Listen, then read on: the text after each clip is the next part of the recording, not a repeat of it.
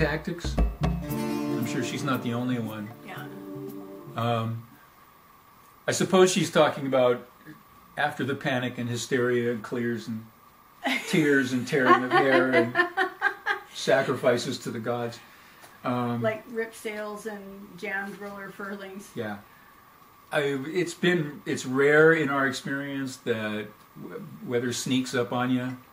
It's indeed extremely. You can usually see it coming You can usually see it coming if you're paying attention. And if uh, you look off at the horizon and say, "Gee, I think we're going to have to reef," it's time to reef. No. right now, all hands On deck on deck to reef. to reef sails, Yeah. and that's all there is to it. The the instant anybody thinks it might be time to reef, we reef. We reef.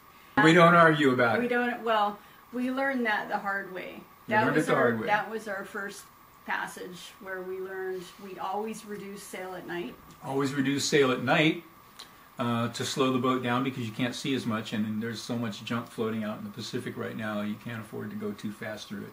But another thing is, if the wind picks up, you can usually uh, manage with the reduced sail that we set. And you can't see that at night. and you the can't see the wind coming. You can hear it coming. Well, you can't see the clouds moving in Yeah. and getting It's much more difficult Yeah. to detect than it is in the daytime. Again, it doesn't usually hit you that fast, but it can. Well, you remember in Hawaii when we were hove to that one, that one of our first Yeah, got knocked down. passage. We were hove to and got knocked down, but I heard that coming. yeah. I called you. I, Mhm. You were down below sleeping. just as I came out through the companionway. Wham! That was a memorable moment. Yeah, So- that was a memorable day. one of one of one of our earliest. one of our earliest. yeah, in the. Uh, Remember the uh, picture that in we the Kauai of the Channel. handle? Yeah, yeah, Still in the nicely Kauai Channel. Yeah, that's all fun and games. But she wanted to know what we do. You know what our storm tactics are. First tactic is to not have enough sail up to have to really be worried.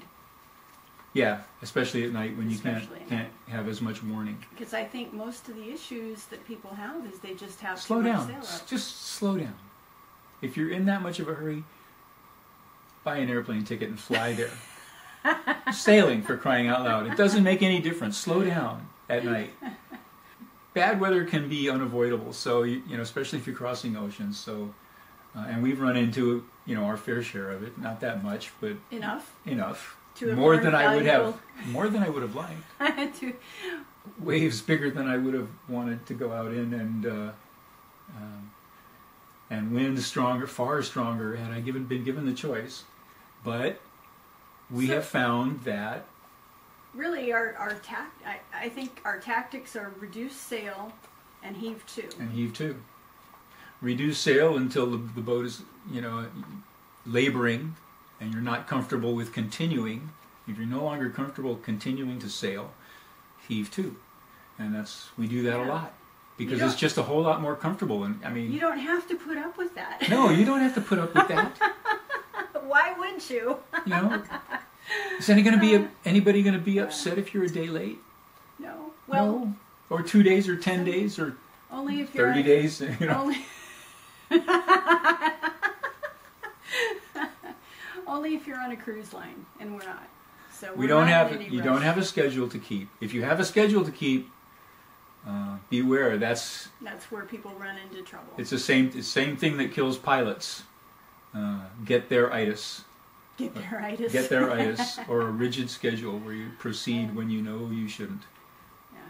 Well, I think another thing that kind of has stopped us Mm-hmm. and slowed us down is that we don't have the ability to carry so much fuel that we can just plow on through that stuff. We've learned that we have to slow down and just deal Yeah, with it. Yeah, but the boat will only do five knots And in flat, calm conditions. Yeah, and if you've got a 20 knot headwind and you're bucking against five or seven foot seas, you don't go anywhere. You're not going fast. anywhere. So Heave to, sit it out, relax, go down below, make some hot chocolate and some chocolate chip cookies, and it's all good. yeah. Now that Uh, now that you mention it is something that um, speaks to our basic philosophy of going places. Uh, you can't do that in these narrow passages here in Alaska. You just you know sit tight in harbor when the storms are blowing out there and don't try to go anywhere. you need to be far enough offshore when you heave to that you're not going to get blown up on the rocks. Yeah. So, and that's why we prefer when passage making to get as far off offshore as possible. Well, that's I think one of the reasons we enjoy long distance passages more is because we can not worry about hitting less things. stress. Hope that answers your questions. Yeah. And oh, Jonathan. Uh, Jonathan wanted to know if we bounce around a lot in the storms. Um, do we use a drogue or any of that kind of stuff? No. The only storm tactic we use is heaving to. I mean, heave to. We've been in some pretty gnarly conditions like that. Uh, it's worked fine for us, and you don't bounce around. Well, we have got knocked around a little bit. We've got knocked around. Every once in a while, a wave will break against the boat and, you know, slap it. But for the most part, uh, in a storm like that, the ride is pretty smooth when you're hove to. You're not really being thrown around a whole lot. Yeah. I mean, it's co- certainly calm enough to sit below and, and you know, drink tea and uh, read a book. Yeah. Hmm? Yep. I think a couple of times we've kind of joked that it's almost we couldn't tell the difference if we were out Like at sitting at sea the or dock. tied up at the dock. So Yeah. it's heaving to is a wonderful thing, and it's a great way to be able to relax when you're tired. Yeah, if you just want to break, you know, if you just want to rest. Well, that's where things happen is people get tired and they're in a hurry. hmm Those are two really bad things to let happen. So Cruising. a No, Sunday after. no, that's grooving. Oh, It's way before your time.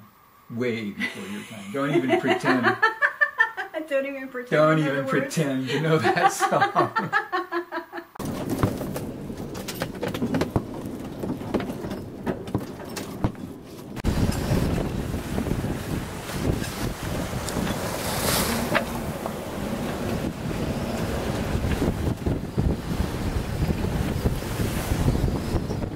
Day five.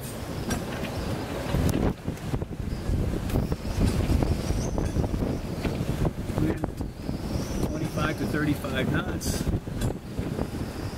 Seas 12 to 15 feet.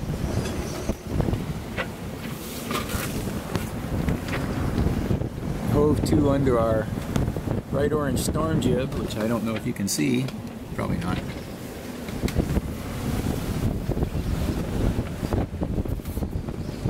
And it's been like this for, what is this, the third day now? Been like this for three days and no end in sight. The weather report is uh, going to be like this for two or three more days at least. You know, we are hove to at the 50 miles out of the entrance of uh, the Strait of Juan de Fuca.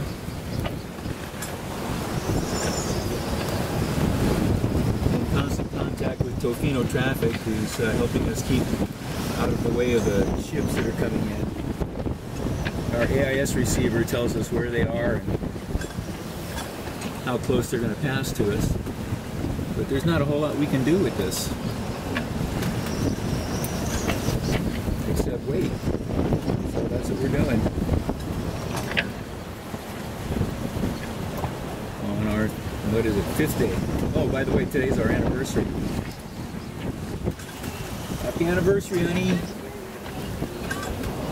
I'm taking you out for dinner next year, that's right. Okay, well, that's about all.